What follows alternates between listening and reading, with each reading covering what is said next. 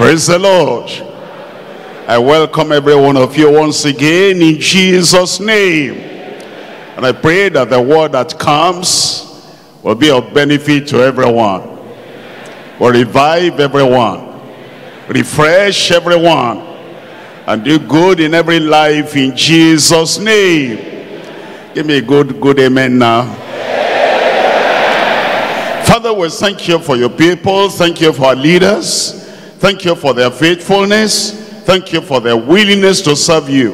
We're asking, Lord, that none of us will lose our rewards in Jesus' name. As we're serving you, helping other people, lifting other people, developing other people, we pray, oh Lord, everything that concerns each of us, you'll perfect in Jesus' name. Be with us tonight. Lead us into the depths of the revelation of the word of God. In Jesus' name we pray. God bless you. Down. We're coming to Hebrews chapter 8. Hebrews chapter 8. I'm reading from verse 8. For finding fault with them, he said, Behold, the days come, says the Lord, that I will make a new covenant with the house of Israel and with the house of Judah.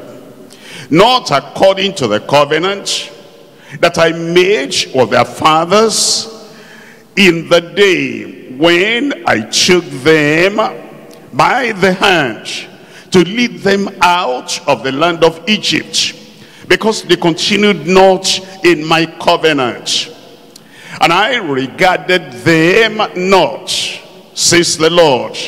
For this is the covenant that I will make with the house of Israel after those days, says the Lord.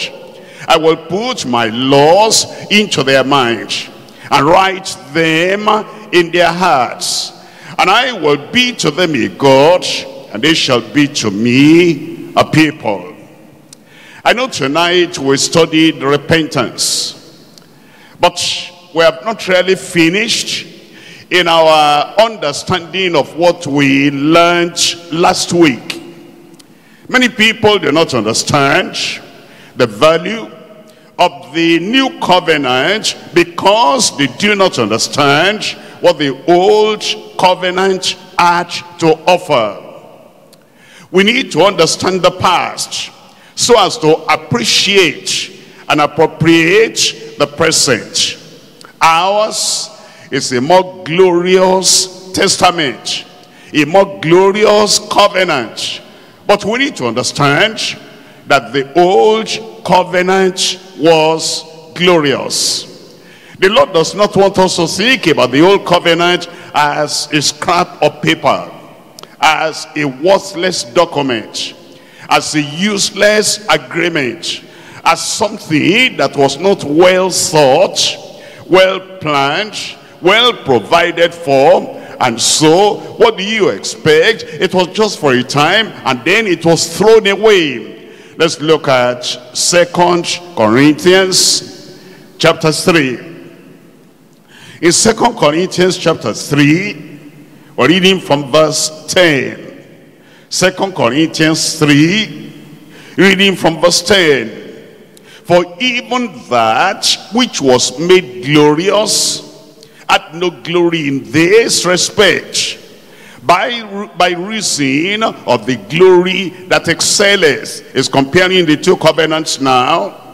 And is saying that the old covenant had glory. It was made glorious, but the glory faded into almost nothingness because of the glory of the new covenant that excels. Look at verse 11. For if that which is done away was glorious. So don't think of the old covenant as, well, it's scrapped, it's nullified, it's annulled, it's cancelled, abolished, because it was worthless. No, not at all. It says that which is done away was glorious, much more that which remains is glorious. It's telling us that the new covenant is more glorious. And then in verse 12, seeing then that we have such hope, we use plainness of speech. We come to verse 15, but even uh, even unto this day when Moses is read, the veil is upon their hearts. That is when the Jewish people read the Old Testament and they read the provisions of the Old Covenant. There's a veil on their hearts. It's veiled. They can't understand. And many people too in the church, many people in the New Testament church, they do not understand the value and the worth and the essence and the significance of the old covenant. It's like there's a veil on the heart. Nevertheless, in verse 16, when it shall return to the Lord, the veil shall be taken away. Now the Lord is that spirit. And where the spirit of the Lord is, tell me, there's liberty. That means there's liberation, emancipation, deliverance, freedom. And then it says in verse 18, But we all, with open face, beholding in a glass the glory of the Lord, are changed into the same image from glory to glory, even as by the Spirit of the Lord. The question we want to ask is, did the people in the old covenant know anything about the new, about Christ? Did they enjoy anything from Christ? Did they see? Did they experience? Did they have? Did they possess anything from Christ? What was the experience? There are many people that will talk as saved in the Old Testament. There was no faith. That's not right. Hebrews 11 talks about faith. And Hebrews 11 is talking about the old covenant people. And it said by faith, by faith, by faith. Of course, they had faith. And then there are people that think they didn't have grace. They didn't have conversion. They didn't have repentance. As we talk about repentance, there are many people that will think what a pity for those old covenant people. There's no repentance. What do you say that? They had repentance. Did they have forgiveness? Did they have deliverance? Did they have the conversion that leads to righteousness? Did they enjoy healing? Did they enjoy deliverance? Did they enjoy the power and the gifts of the Spirit of God? How about holiness? How about sanctification? How about the supernatural manifestation? How about getting to heaven? Did any of them get to heaven at all? You see, many people do not understand and they think that all these things we're talking about is only for the New Testament believers. Let's see the involvement of Christ with them. We're looking at First Corinthians chapter 10. First Corinthians chapter 10. I'm reading from verse 4. First Corinthians chapter 10 verse 4 and did all drink the same spiritual drink talking about the old covenant people for they drank of that spiritual rock that followed them. And tell me the rest. That rock was Christ. Of course, he provided the water for them. He provided the spiritual meal for them. He provided all those things for them. He was active, but veiled. He was active, but hidden. He was active, but he wasn't seen in the physical. In fact, uh, you come to First Peter, First Peter chapter 1. And here we're reading from verse 11. First Peter chapter 1, verse 11. Searching what or what manner of time the Spirit of Christ which was in them did signify those prophets of the old covenant, the spirit they had was the spirit of Christ. They were looking forward to Christ's coming. We are looking back towards Calvary. They were looking forward towards Calvary. Say this way. Before Christ paid the whole price, The Almighty God knew he was coming to pay the whole price. And so he gave the blessings to the old covenant people on credit. You can have it now. Christ, the final lamb. Christ, the perfect lamb. Christ, the perfect mediator, he is coming. He'll pay for it. You can have peace on credit. You can have the forgiveness on credit. And you can have all the possibilities of what we're going to look at today. You can have them because Christ was the rock that followed after them. And it says over here in verse 11, the Spirit of Christ was in them this signify when he testified beforehand the sufferings of Christ and the glory that should follow. Let's come to Second Peter chapter 1. Second Peter chapter 1. We're reading from verse 21. In Second Peter chapter 1 verse 21. For the prophecy came not in old time this is the Old Testament now. By the will of man. But holy men of God spake, past tense, as they were moved by who? By the Holy Ghost. And so you understand, all those Old Testament people, Old Testament prophets, they were not people that just walked in the natural. The Holy Ghost was in them. And the Holy Ghost spoke through them. Tonight we're looking at the message, the past benefits from a glorious testament. The past benefits from a glorious testament. Why are we looking at this? If the saints under the old covenant experienced and enjoyed all these blessings, how much more the new covenant says. If those people in the olden time people under the old covenant, if they enjoyed all this, how much more? Those of us who are here today, three points. We're looking at number one, the conversion and the salvation of Old Testament sinners. Old Testament sinners. Did they get saved? Of course. Were they transformed? Of course. Were they converted? Of course. What kind of conversion did they have? What kind of salvation did they have? Let's look at the word of God. Is the salvation, the conversion based on repentance? Ezekiel, reading from chapter 18. Ezekiel chapter 18, reading from verse 30. Ezekiel chapter 18, verse 30.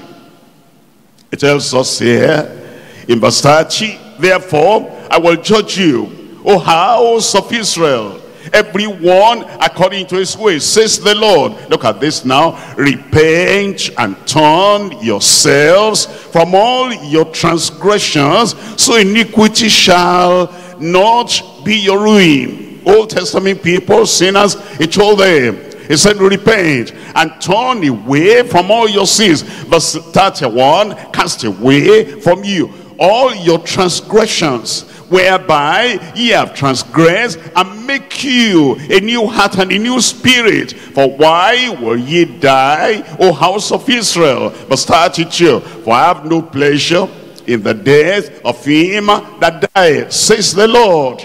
What's that talking about? That's second peter chapter 3 verse 9 God is not willing that anybody should perish, but he wants everyone to come to repentance.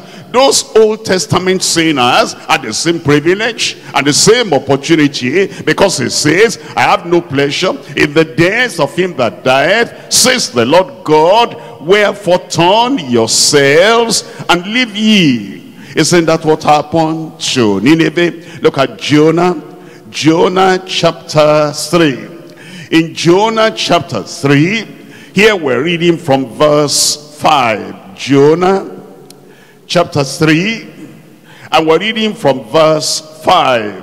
When Jonah went to Nineveh, and he preached the word, and the preaching was uh, just like a one-sentence message. Yet 40 days, and Nineveh shall be overthrown. And yet, when the people heard they repented. Repentance is not just starting today, not just starting in Matthew chapter 4, verse 17. Look at this. It says in Jonah chapter 3, I'm reading from verse 5. So the people of Nineveh believed God and proclaimed the fast and put on sackcloth from the greatest of them even to the least of them. For the word came unto the king of Nineveh and he rose from his throne and he laid his robe from him and covered him with sackcloth and sat in ashes. And he caused it to be proclaimed and published through Nineveh by the decree of the king and his noble, saying, Let man, let neither man, nor beast, herd, nor flock, taste anything. Let them not feed, nor drink water, but let man and beast be covered or sackcloth and cry mightily unto God and let them do what? Let them do what? I'm still waiting for you. Let them do what? Turn everyone from his evil way. What's the one word for that? That's repentance. Let them turn from his evil way and from the violence that is in their hands. Look up here for a moment. You know, there are people that think that those so covenant people they couldn't approach God for salvation themselves.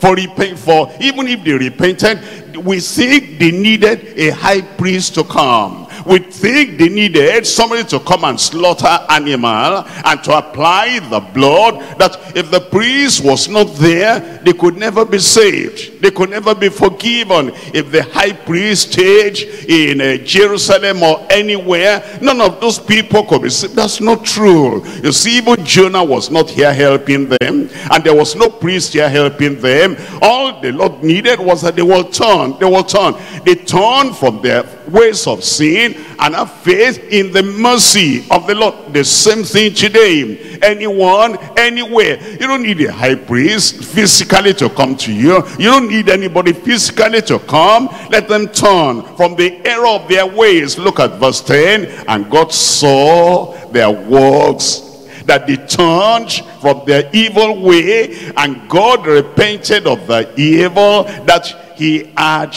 uh, that he had said that he will do unto them and he did it not. And he did it not. That mercy is still available today I said the mercy is still available today uh, you know there are people when they think about the Old Testament people conversion salvation or say yes they were pardoned in a way. But God just like uh, covered their sin he didn't forgive them totally. He didn't cleanse them totally. The sin was still there. The sin was still hanging on them. That's not true. Micah chapter 7. Old Testament people.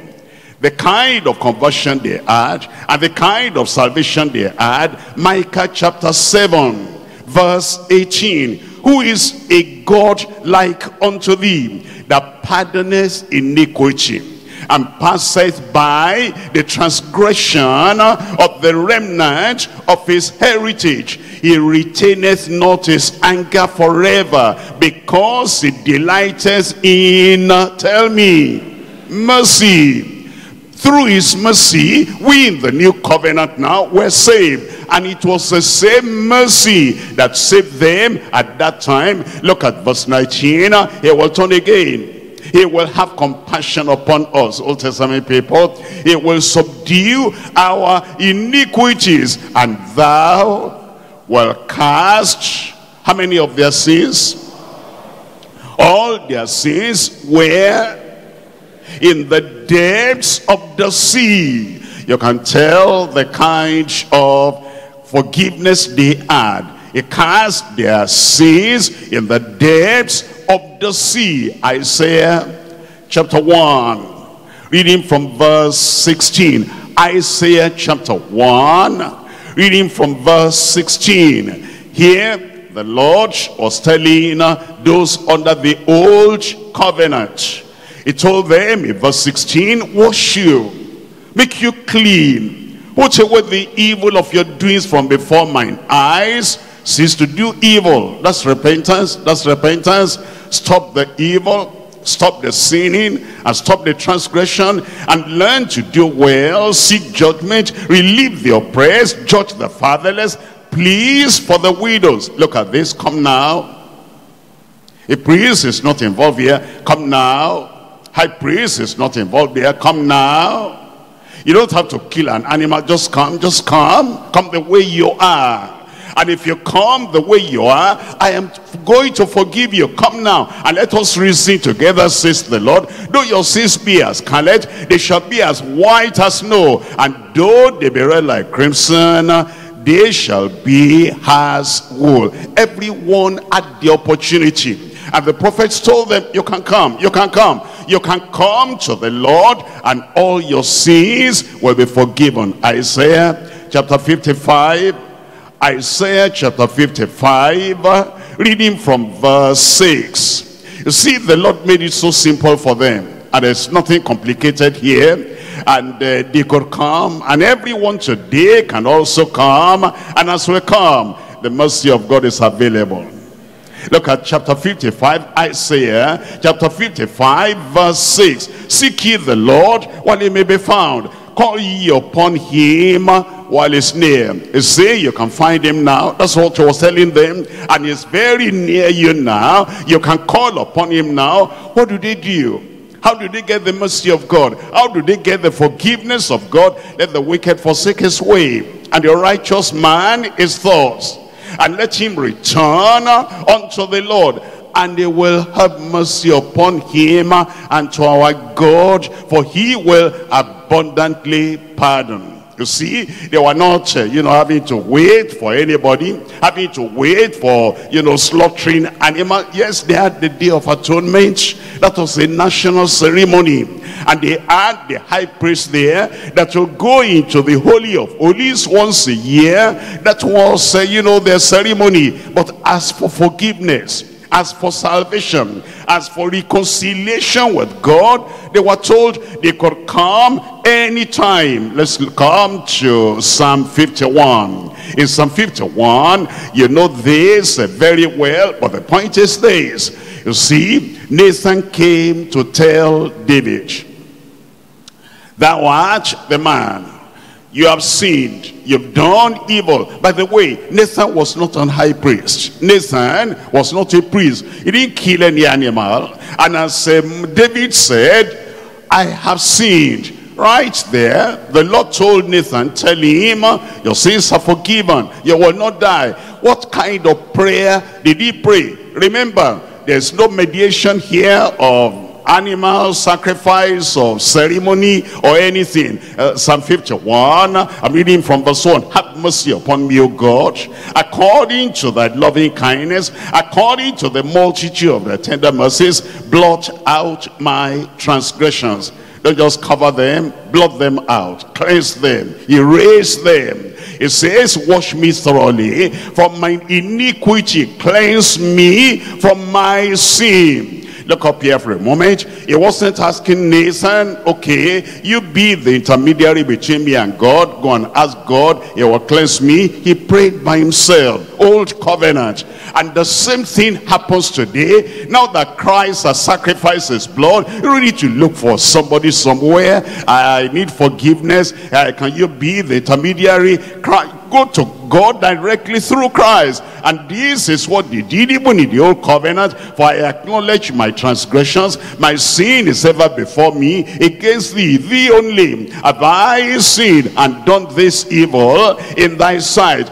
that thou mightest be justified when thou speakest and be clear when thou judgest behold i was shapen in iniquity and in sin did my mother conceive me behold thou desirest truth in the inward parts and in the hidden parts. Thou shalt make me to know wisdom. Purge me. You see that? Purge me. He was praying by himself and he could have this forgiveness and this cleansing purge me, and I shall be clean. Wash me, and I shall be whiter than snow. It says, uh, make me to hear joy and gladness, that the bones which thou hast broken may rejoice. Hide thy face from my sins and blot out how many iniquities? All my iniquities. Look at this now, verse 10. Create in me a clean heart, O God. Renew a right spirit within me. Cast me not away from thy presence. Take not thy, tell me, Holy Spirit from me. Restore unto me, what's that? Restore unto me, what's that? The joy of salvation. It's not talking of salvation from the Philistines. It's not talking of deliverance from enemies. It's talking about iniquity. It's talking about sin. It's talking about transgression. And it says, cleanse my sin. That's what you have today.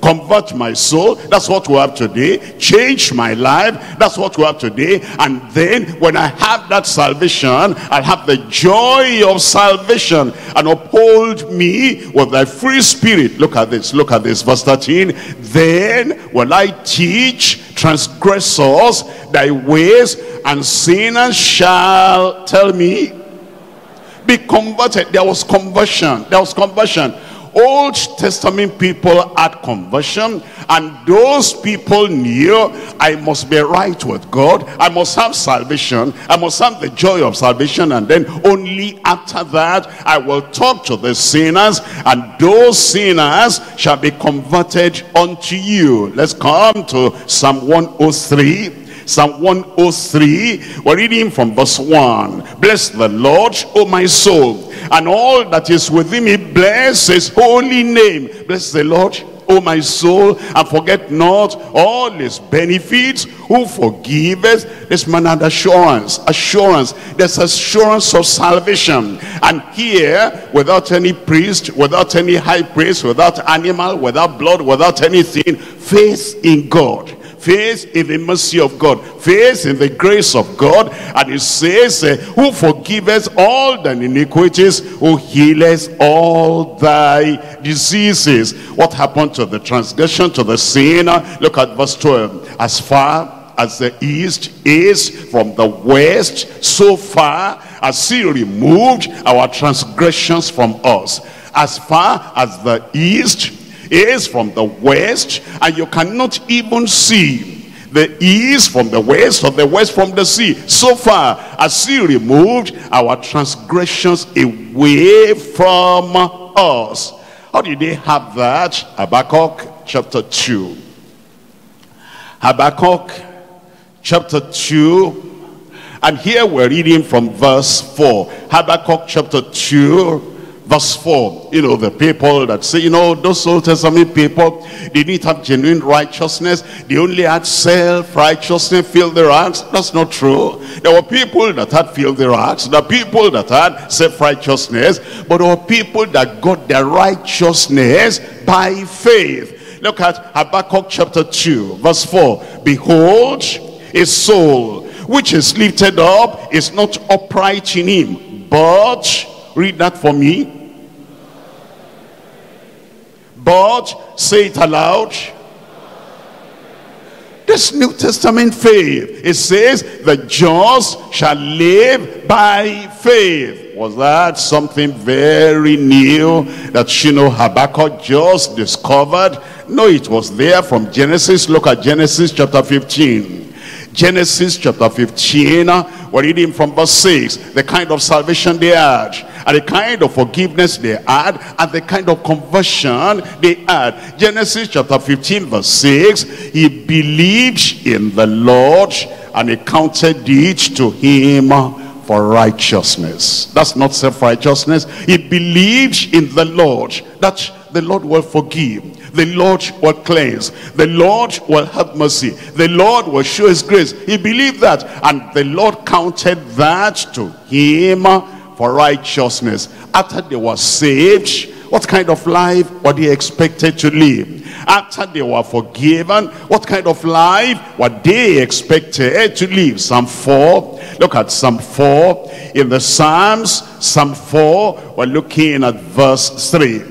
Psalm 4, we're looking at verse 3. But know that the Lord has set apart him that is godly for himself. Him that is forgiven, him that is righteous, him that have been counted righteous by faith in God. It says God has set him apart for himself. The Lord will hear when I call unto him, standing up and sin not. New Old Testament, stand in awe and sin not. Commune with your own heart upon your bed and be still. Psalm 119. 119 in the Psalms. Look at verse 1. Blessed are the undefiled in the way, who walk in the law of the Lord. Blessed are they that keep his testimonies and that seek him with the whole heart. They also do no iniquity. They walk in his ways.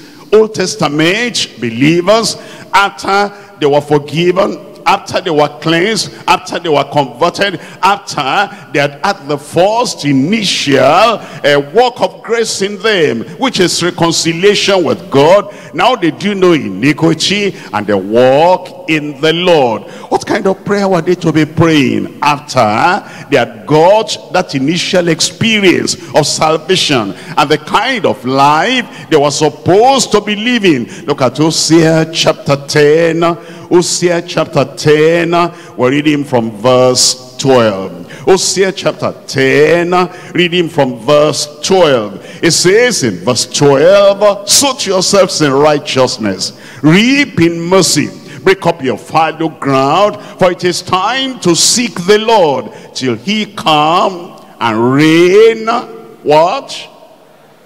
Righteousness upon us.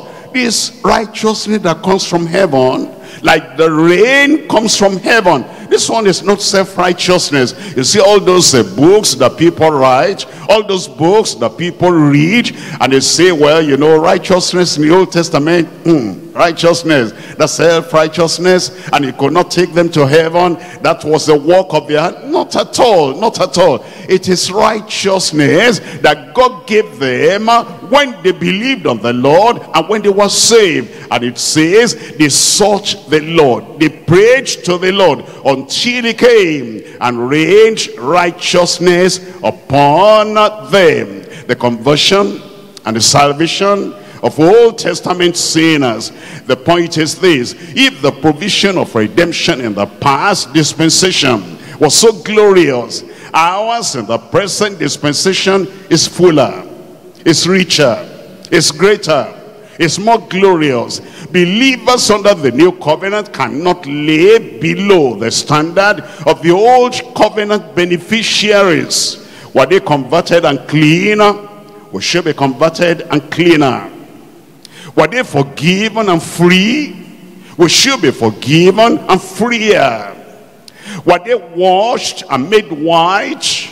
We, sh we should be washed and whiter than snow. Were they righteous and holy? We should be righteous and holier.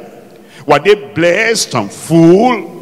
Full of the blessings of God? We should be blessed and fuller. Were they transformed and good? We should be transparent and better. Were they uncompromising and bold? We should be uncompromising and bolder. Point number two now. The consecration and sanctification of obedient, trusting saints. The consecration and the sanctification of obedient, trusting saints. We're looking at these Old Testament people.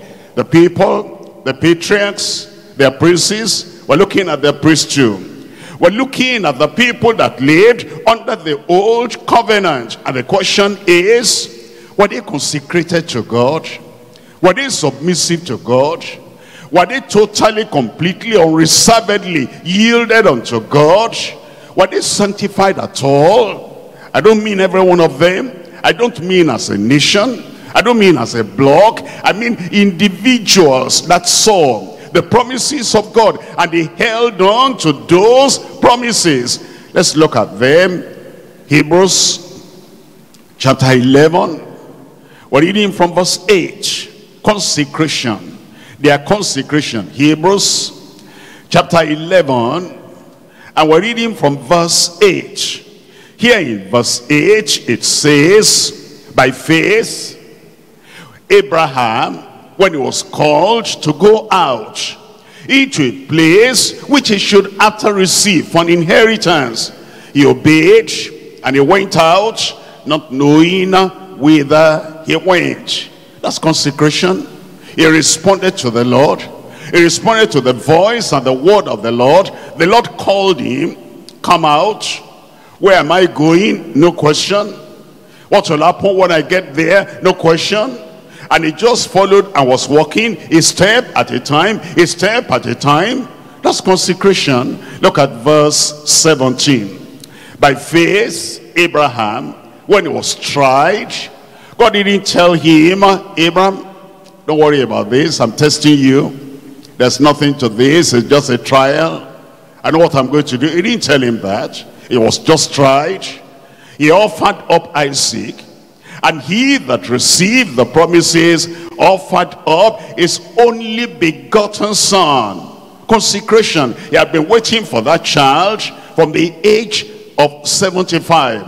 And he had the child at age 100. After having the child, a few years later, Ishmael was driven out Hagar was driven out. This was the only child now remaining. And this was the fulfillment of the promise of many years. And God said, go sacrifice him to me. If you were, what would you have thought?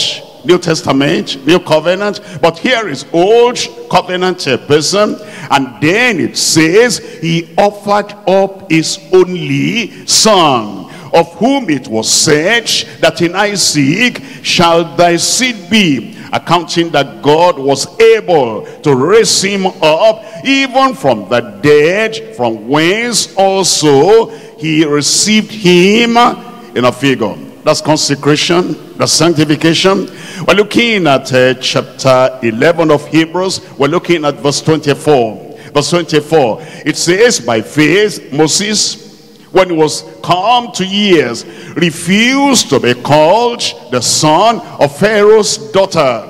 He gave that up. What did Paul the apostle say? The things that were gained to me, I counted as loss. And I count them as dung, as dross. What's that? Consecration. About Moses, the things that were gained unto him. Because if he was accounted as the son of Pharaoh's daughter, because Pharaoh did not have a son at that time, Moses will now replace, uh, you know, that son and he would reign as a king over Egypt. He said, no, I'm not an Egyptian and I'm not going to change my nationality. I remain an Israelite. Look at verse 25. So, uh, choosing to suffer the affliction, suffer affliction with the people of God than to enjoy the pleasures of, sin, of uh, sin for a season. He said, I'll rather suffer than enjoy the pleasures of sin. That's consecration. That's voluntary, by the way. Nobody compelled him. Nobody forced that on him. Look at verse 26. Esteeming the reproach of who? I said the reproach of who? They were looking forward to when Christ will come. And if Christ were here, I will give up everything for him. I will deny myself of everything. But Christ is still to come in the future. And it is like they were looking ahead, just like we're looking back to the coming of Christ. And the reproach he was suffering, he knew, is the reproach of the coming Christ. It says, choosing to suffer affliction with the people of God for a season, uh, than to enjoy the pleasures of sin for a season, esteeming the reproach of Christ greater riches than the treasures in Egypt. For he had, he had respect unto the recompense of the reward. By faith he forsook Egypt not fearing the wrath of the king, and endured as seeing him who is invisible. That's consecration. That's consecration. You see those people, if the Adamic nature were there, the Adamic nature will be pulling them down. You can't go that far. You can't go that high. You can't commit all that. They committed everything, old covenant. The point is, if God helped them to do this under the old covenant, how much more today? Hebrews chapter 11, we're reading from verse 5. Hebrews 11 verse 5, by faith Enoch was translated that he should not see death and he was not found because God had translated him. For before his translation, he had this testimony that he pleased God. He pleased God. What does that mean? He was like reflecting the nature of Christ. Here is my beloved son in whom I am well pleased. And Enoch was looking ahead when Christ will come. He'll please the Father completely and totally without any reservation and without any interruption. And he for 300 years walked with God and the word of God says he was translated because of this kind of life that he lived, which pleased God. We're coming to Exodus chapter 32. Exodus chapter 32, and I'm reading from verse 10. Exodus chapter 32, we're reading from verse 10. In Exodus chapter 32, verse 10, here we find Moses talking to God after God has spoken to him what he wanted to do. Exodus chapter 32 verse 10, Now therefore let me alone, that my wrath may wax hot against them, and that I may consume them, and I will make of thee a great nation. There was nobody there was him, just Moses and God. And Joshua was at a distance. And God said, Moses, you know what? I'm changing my plan. I'm going to destroy all these millions of Israelites, but I have now, my affection is now for you. My concentration is now for you. And what I wanted to do with all those children of Israel, you are the one Moses I'm going to do that with. If the man was not sanctified, if the man was not consecrated, if the man was not totally yielded to the Lord, what will happen? That looks like a good plan. There's even a pain on my neck. All these Israelites, they murmur and murmur every time. And they are thorn in my side. And you have decided you want to wipe them out and start with me. Wonderful. Then it will be the God of Abraham, the God of Isaac, the God of Jacob, and the God of Moses. That's a good idea. But no. For a sanctified man, and for a consecrated man. Look at what happened in verse 11 and moses besought the lord his god and said lord why does thy wrath wax hot against thy people which thou hast brought forth out of the land of Egypt with great power and a might and with a mighty hand. Wherefore should the Egyptians speak and say, for mischief he, did he bring them out to slay them in the mountains and to consume them from the face of the earth turn from thy fierce wrath and repent of this evil against thy people. Remember Abraham, Isaac, and, and Israel, thy servants, whom thou swearest by thine own self and said unto them, I will multiply your seed as the stars of heaven, and all this land that I have spoken of will I give unto your seed, and they shall inherit it forever. And the Lord repented of the evil which he thought to do unto his people. Can you see sanctification there? Yes, I see there. Can you see consecration there? Yes, I see there. He rejected. He refused. He said, no, Lord, you will not start with me and make me mighty nation. Stay with the people and continue with the people what's our attitude when maybe the members of our local church, they are not, uh, you know, doing well and all that, and then we'll say, we're not going to allow them to give you stress or distress or conflict. We're not going to allow them to give you hypertension. We're going to remove you out of that place, the, the terrible bunch, and, you know, they are incorrigible, and they are terrible and all that. We're transferring you to a better place. You know, the, the average pastor says, thank you very much, That's, uh, that I can be free from those, uh, from that bunch. Wonderful. But not Moses. Moses said, God, have mercy on them and don't replace them with me. Look at verse 31. And Moses returned unto the Lord and said, Oh, these people have sinned a great sin uh, and have made them gods of gold. Now, yet now, if thou will forgive their sin, he couldn't complete the sentence. If not, blot me, I pray thee, out of thy book which thou hast written blot me, I pray thee, out of the book of life. If you will not forgive them, if you will not take them to be your people, I forfeit my relationship with you. What's that? Isn't that the same thing with Paul? When Paul the apostle said, I could wish that I myself were a cause for the children of Israel, if that will save them. You see, these Old Testament people, there were those of them that knew sanctification is available and they got it consecration is necessary and they consecrated themselves no doubt there were Old Testament saints who oh, were fully consecrated to God and entirely sanctified by God. With less knowledge and less revelation, they were consecrated and they were sanctified.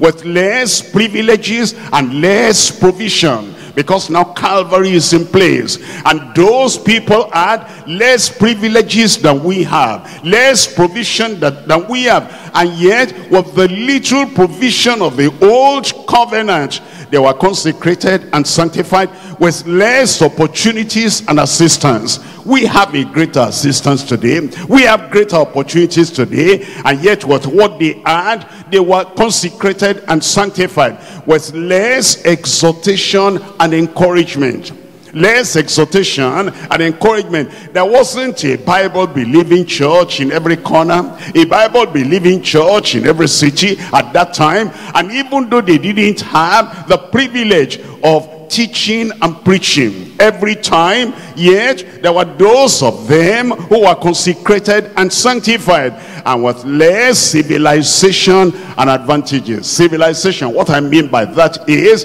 you know with civilization there's electricity there's a good road and also there is a law and order. There is police there's security to some extent and the civilization gives us advantage. At that time if uh, Nebuchadnezzar, decided he wanted to burn uh, anyone that would not worship idol, wanted to burn them in fire, that was all right for him. Nobody to check him because civilization was not like this at that time. And yet they were consecrated to God with all their less advantages and privileges, they were obedient to God and they were sanctified and they were holy and they were uncompromising and they were pure and they were heavenly minded when you think about those people at that time was so much opposition and persecution Shadrach, Meshach, and Abednego still retained their consecration, their sanctification, and with trial and temptation. Joseph, you can tell, still retained the consecration and the sanctification, and with so much hatred and hostility. Jeremiah still retained the consecration, the sanctification, with apostasy and hardness of heart among the children of Israel. Ezekiel still retained the consecration and the sanctification and with so much corruption and defilement. Elijah still retained the consecration and the sanctification with so much adversity and accusation. Job still retained the consecration and the sanctification with all things around them these Old Testament saints were still consecrated. They were still obedient. They were still sanctified. They were still steadfast. They were still holy. They were still pure. They were still undefiled, They were still heavenly minded. We have a better covenant. What excuse do we have? If those people, with all the challenges around them, could so give everything to God and could so devote all their time, all their person, everything they knew unto God, how much more the people of today, we can do better. We will rise higher.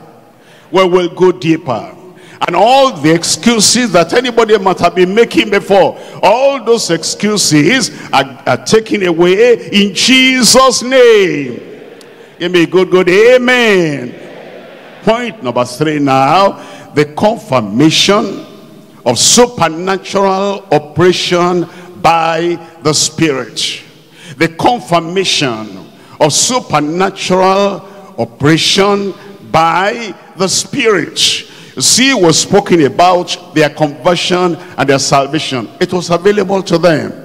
And some of them made use of the privilege. Was spoken about their consecration and sanctification. All that was available to them. And some of them took that privilege about the confirmation of supernatural operation by the Holy Ghost, by the Spirit. We're coming to Second Samuel Second Samuel chapter 23. Second Samuel chapter 23. And I'm reading from verse 2. Second Samuel chapter 23. And here we're reading from verse 2. Look at verse 2. The Spirit of the Lord spake by me. His word was in my tongue. Here is David saying, I have the experience of the Spirit of God from the time of salvation, from the time of conversion, take not thy Holy Spirit from me. And then he went on, he consecrated himself. The Holy Spirit was still present, abiding. And now he said, the Spirit of the Lord spake by me, and his word was in my tongue. Micah chapter 3 Micah chapter 3. And we're reading from verse 8. Micah chapter 3 verse 8. Truly, I am full of power by the Spirit of the Lord. I am full of power. Old Testament prophet, Old Testament preacher, an Old Testament person. But truly, I am full of power by the Spirit of the Lord and of judgment and of might to declare unto Jacob his transgression and to Israel his sin. There's so many people I can refer to, but I've chosen three of them in the old covenant. And I've chosen them to show you how they were full of the Spirit of God. And if they were full of the Spirit of God, we have no excuse. We have no excuse. Nobody helped them. Nobody laid hands on them. And nobody helped them to get the fullness of power you will be full. You'll be saturated and deal with the power of the Holy Ghost in Jesus' name. If these people in the old covenant, under the old covenant, if they had the abundance and the operation of the Spirit of God in their lives, thank God you will. I said, thank God you will. Number one, Elijah. Number two, Elisha. Number three, Ezekiel. Number one, Elijah's exploits. Elijah's exploits. We're reading from First Kings chapter 17.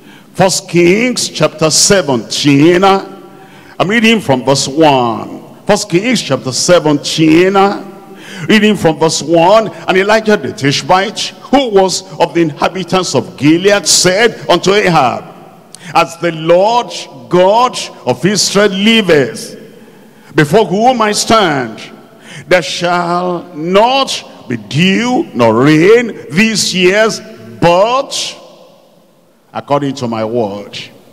That man was in control. He was in charge.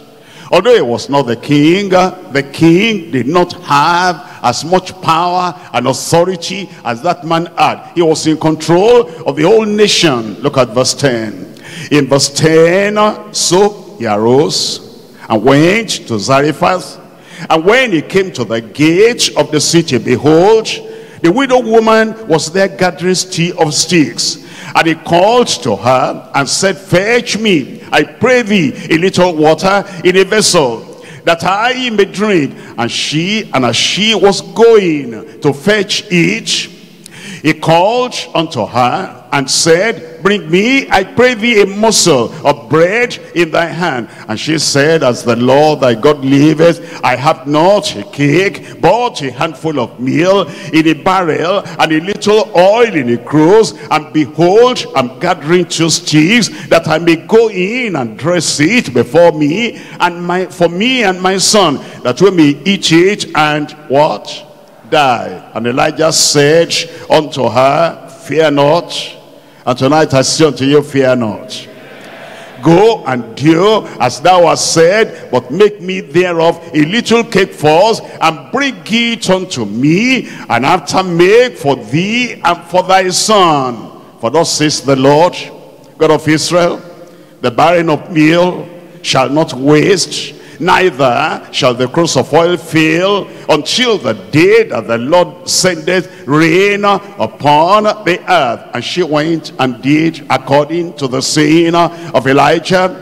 And she and he and her house did eat many days. And the barrel of meal wasted not, neither did the cruse of oil fail, according to the word of the Lord, which is spake by Elijah. Look at verse 22. In verse 22, and the Lord heard the voice of Elijah, and the soul of the child came on into him again, and he revived. That child was dead. Elijah prayed, and God sent an answer, and the child got up. Old Testament, chapter 18. In chapter 18, verses 1 and 2.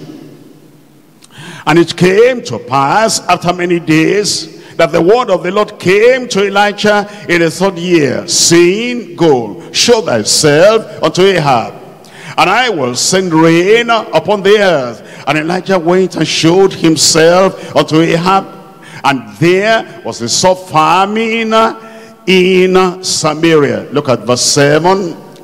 And as Obadiah was in the way, behold, Elijah met him, and he knew him, and fell on his face, and said, Art thou that my Lord Elijah?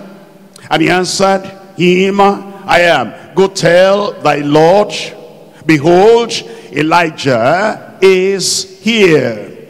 Verse 17. In verse 17, and came to pass, when Ahab saw Elijah, that Ahab said unto him, Art thou he that troubleth Israel? And he answered, I have not troubled Israel, but thou and thy father's house, that's boldness, the boldness of the spirit, in that thou hast forsaken the commandments of the Lord, and thou hast followed Baal. Verse 21, the people were collected together. Elijah came unto all the people and said, How long shall ye halt, between two opinions? If God, if the Lord be God, follow him. But if Baal, follow him. And the people answered him not a word. You know the story, I'm just reminding you now, verse 30. And Elijah said unto all the people, Come near unto me. And all the people came near unto him and repaired the altar of the Lord that was broken down. And Elijah took 12 stones according to the, to the number of the tribes of the sons of Jacob unto whom the word of the Lord came saying, Israel shall be thy name. And the stone and with the stones he built an altar single-handedly, all by himself nobody helping him. He did that in the name of the Lord. And he made a trench about the altar as great as would contain two measures of seed. And he put the wood in order. And he cut the bullock in pieces and laid him on the wood and said, fill four barrels with water and pour it on the burnt offering, on the burnt sacrifice, and on the wood. And he said, do it the second time. And they did it the second time. And he said, do it the third time. And they did it the third time. And the water ran round about the altar. And he filled and filled the trench with water.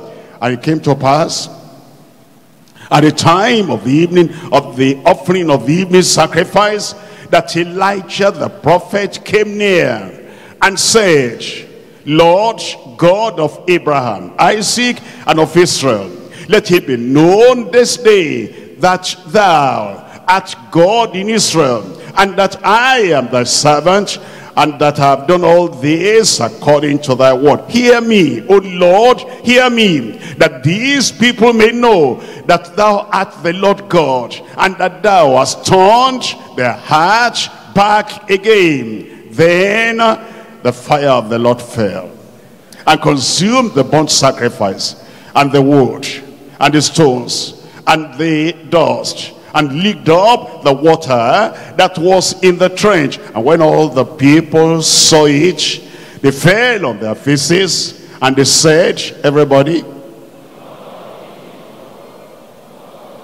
The Lord, he is the God. The Lord, he is the God. He turned the whole nation back to God single-handedly. He brought revival. Do you know that when John the Baptist uh, was said to be conceived, here the only comparison the angel could make as was sent by God to the house of uh, Zechariah and Elizabeth. Look at this, Luke chapter 1. In Luke chapter 1, reading from verse 16, uh, and many of the children of Israel shall he turn to the Lord their God, and he shall go before him in the spirit and power of Elias, of Elijah, to turn the hearts of the fathers to the children and the disobedient to the wisdom of the just to make ready a people prepared for the Lord.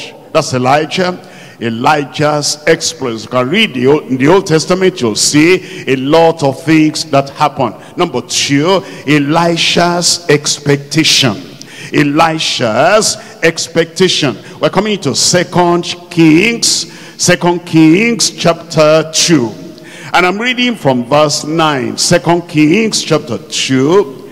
We're reading here from verse 9. Let's see how he also had the power of the Spirit. And if that was possible for them under the old covenant, such is possible for you today. It's possible for me today. Things are going to turn around. What they had, we're going to have. We're going to have more. And greater will be the operation of the Spirit in your life, in your ministry, in Jesus' name. Second Kings chapter 2 verse 9. And it came to pass, when they were gone over, that Elijah said unto Elisha, Ask what I shall do for thee before I be taken away from thee. And Elisha said, I pray thee, let a double portion, can you say that with me? Let a double portion of thy spirit be upon me. Did he receive Look at verse 14. And he took the mantle of Elijah that fell from him and smote the waters and said, Where is the Lord God of Elijah? And when he had also smitten the waters, they parted hither and thither, and Elisha went over. And when the sons of the prophets which were to view at Jericho saw him, they said, the spirit of Elijah does rest upon Elisha. And they came uh, to meet him and bowed themselves to the ground before him. Now, as we look at this Elisha, you saw his expectation. What's the realization in his life? Number one, he had the ministry of healing. Chapter 5. Chapter 5 verse 10. In chapter 5, verse 10, and Elisha sent a messenger unto him, saying, Go, watch in Jordan seven times, and thy flesh shall come again unto thee, and thou shalt be clean. Look at verse 14. In verse 14, then he went, he went he down and dipped himself seven times in Jordan according to the saying of the man of God and his flesh came again like unto the flesh of a little child. Put that down. That's the gift of healing. Look at chapter 6 verse 1 chapter 6 verse 1 and the sons of the prophets said unto elijah uh, unto Elisha, Behold now the place where we dwell with thee is too straight for us, too narrow for us. Let us go, we pray thee, unto Jordan, and take thence every man a beam, and let us make a place there where we may dwell. And he answered, Go ye. And one, of, and one said, be content, I pray thee, and go with thy servants. And he answered, I will go. And so, as one, uh, and so he went with them. And when they came to Jordan, they caught wood. But as one was felling a beam, an axe fell into the water. And he cried and said, Alas, my master, for it was borrowed. And the man of God said, where fell it? And he showed him the place. And he caught down his cheek and cast it hither. And tell me. And the iron did swim. Put this down. The gift of working miracles. Gift of working miracles. Look at verse 8. Then the king of Syria watched against Israel and to counsel with his servants, saying, in such and such a place shall be my camp. And the man of God, that's Elisha, sent unto the king of Israel, saying, Beware that thou pass not such a place, for thither the Syrians come down. And the king of Israel sent to the place which the man of God told him and warned him of, and saved himself there not once, not twice. Therefore the heart of the king of Syria was so troubled for this thing. And he called the servants and said unto him, Will ye not show me which of us is for the king of Israel? And one of the servants said, None, my lord, O king. But, tell me the name.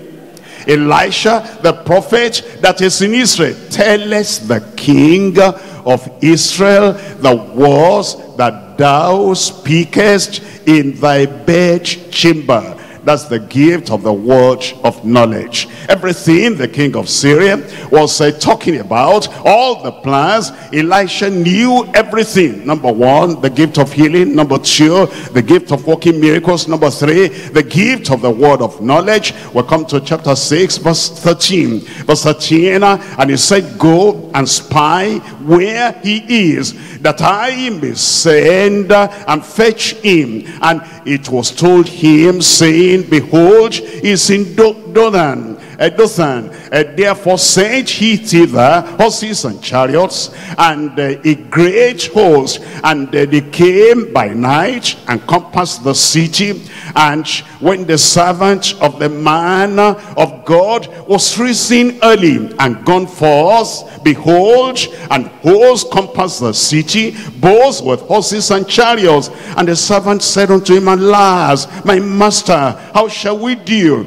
And he answered, and he answered, and he answered, Fear not, for they that be with us are more than they that be with them. And Elisha prayed and said, Lord, I pray thee, open his eyes that he may see. And the Lord opened the eyes of the young man, and he saw, and behold, the mountain was full of horses and chariots of fire round about. This man had the gift of discerning of spirits discerning of spirits. You know, the, the young man did not see that. His servant did not see that. But Elisha could see into the spirit realm. He had the gift of the discerning of spirits. Look at verse 18.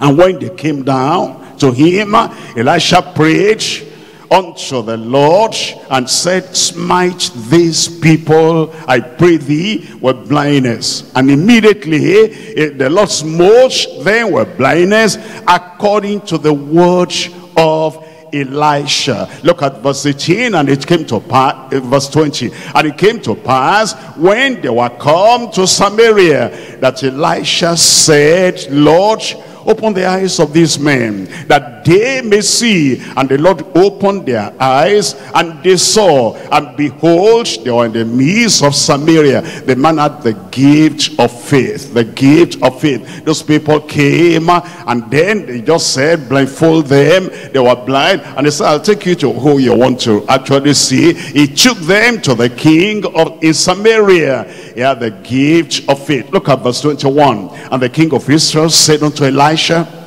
where when he saw them, my father, shall I smite them? Shall I smite them? And he answered, thou shalt not smite them. Wouldest thou smite those whom thou hast taken with thy sword and with thy bow? Set bread and water before them, that they may eat and drink and go to their master and he prepared great provision for them and when they had eaten and drunk he sent them away and they went to their master. So the bands of Syria came no more into the land of Israel. The man had the gift of the word of wisdom. The word of wisdom. What do we do? I want to smite them, destroy them. He said, no, you cannot do that. Give them food. Let them go back to their master.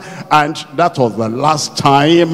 They never came again. Those enemies will not see them again.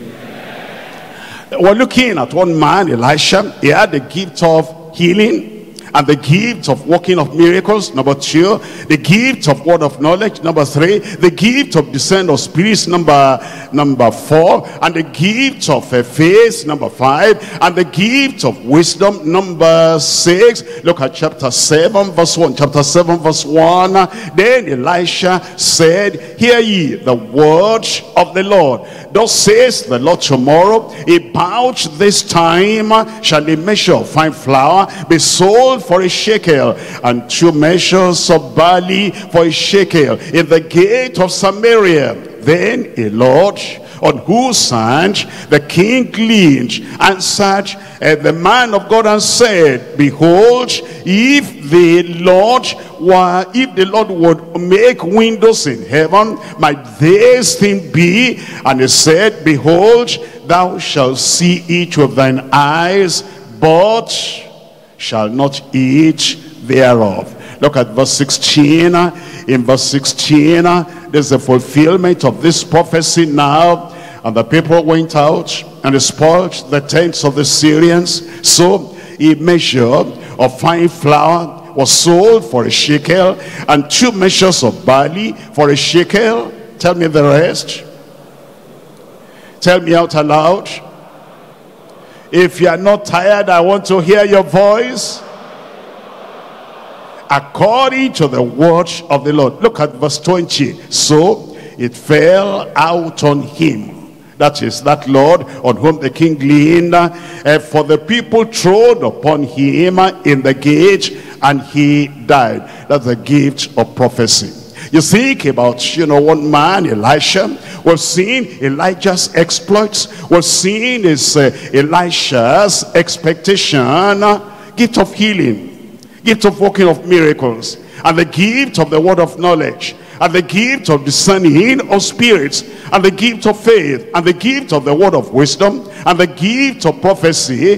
There were there are nine uh, gifts of the spirit in the new testament and uh, the only one not manifested with elisha is the speaking in tongues and interpretation of tongues. But let's see this now. We're looking at uh, chapter 13 chapter 13, Second Kings chapter 13. I'm reading from verse 20.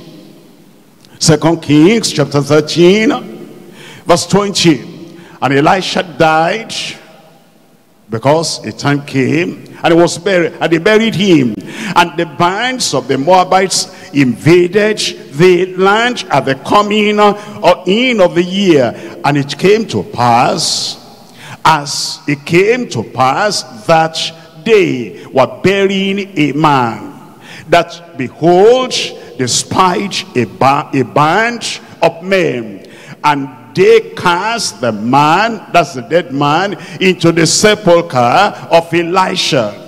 And when the man was laid down and touched the bones of Elisha, what happened? If you are revived yourself, say it. And stood up on his feet. You know that, you know what that is? When something happens, like you're given a reward, a recognition, an award after you have died. They call it posthumous award. This miracle, this is posthumous miracle. The man had died. This is an next. Why? Because he said, give me a double portion of the spirit as you look at the exploits of Elijah, and you count one, two, three, you count up to eight. And now you count all the miracles that happened in the ministry of Elisha, one, two, three, up to 15. And to make the double, that it should be, what is the double of eight? 16. Because he had 15 and then he had died. Now, the final miracle to complete that double portion. Everything the Lord has for you will be complete. That's why this posthumous miracle took place. What I'm saying is, all these people were in the old covenant, and we are in the new covenant. I pray that everything the Lord has promised us in the new covenant, we will have I will have, you will have, this church will have in Jesus' name.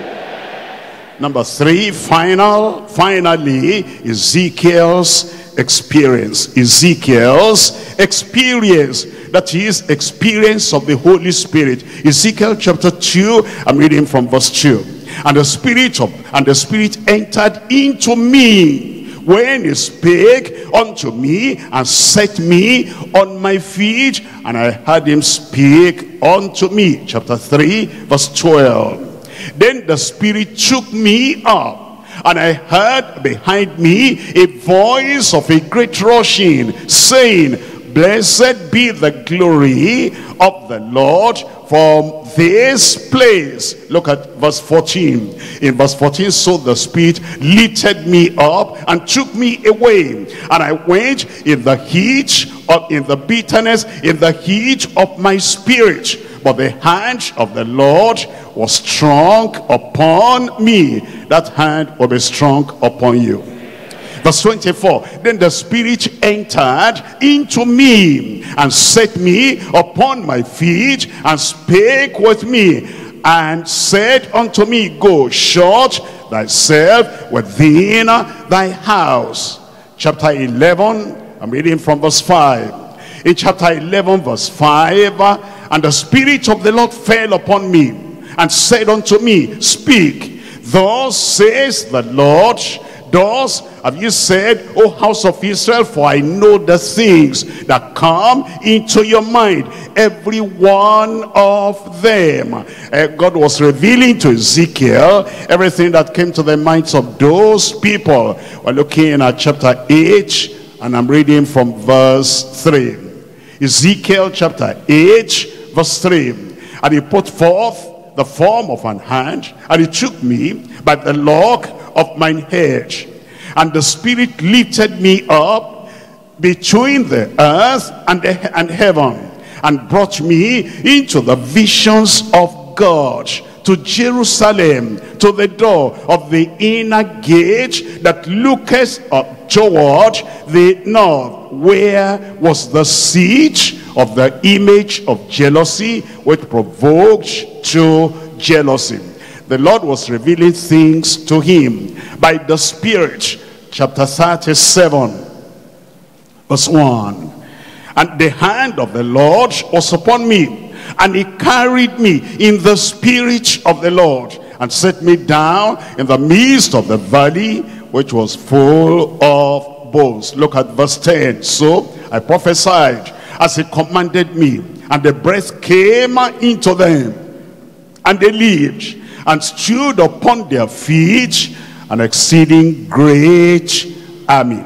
Chapter 43, I'm reading from verse 5. Chapter 43, verse 5. So the Spirit took me up and brought me into the inner court and behold the glory of the Lord filled the house as you look at the life and ministry of Ezekiel it was all the time the spirit came upon me the spirit entered into me the spirit lifted me up the spirit directed me the spirit showed me he was living and laboring and ministering by the revelation of the spirit and it says that same revelation, that same spirit is going to be upon you. Chapter 36 now, Ezekiel chapter 36. And I'm reading from verse 25. Then will I sprinkle clean water upon you, and ye shall be clean. From all your filthiness and from all your idols will I cleanse you. And a new, a new heart will I also give you. And a new spirit will I put within you. And I will take away the stony heart out of your flesh. And I will give you an heart of flesh. And I will put my spirit within you. This is yours. I said this is for you. I will put my spirit within you and cause you to walk in my statutes and ye shall keep my judgments and do them. If the Old Testament saints had all these experiences, what do we expect for New Testament saints having better promises that is based or in the better covenant? See what those people had. Talk about conversion, they had it Talk about salvation, they add it. Talk about consecration, they add it. Talk about sanctification, they add it. Talk about the confirmation of the operation of the Spirit of God and the Spirit of God coming into them, revealing to them, giving them the gifts of the Spirit. If they add that in the Old Testament, you must sit up now and you must understand, all these things are yours, for the promises unto you and to your children, and to them that are far off, even as many as the Lord our God shall come you will not miss any part of the provision of the new covenant that the Lord has for you, has for us as a whole in Jesus' name. Now you change your perception, you change your understanding, and you turn around and you say, if they add that, I am going to have mine. What are you? I'm going to have mine. Why don't you rise up and tell the Lord tonight, tonight, I am going to have mine. Look at everything available. Look at salvation. Look at sanctification. Look at the Holy Ghost power, endowment, and look at all the gifts of the Spirit. Everything is available today. It is yours. It is yours. Remember, they had it in the old covenant. You can have them in the new covenant. Open your mouth, raise your voice to the Lord, and ask today, it is yours for the asking.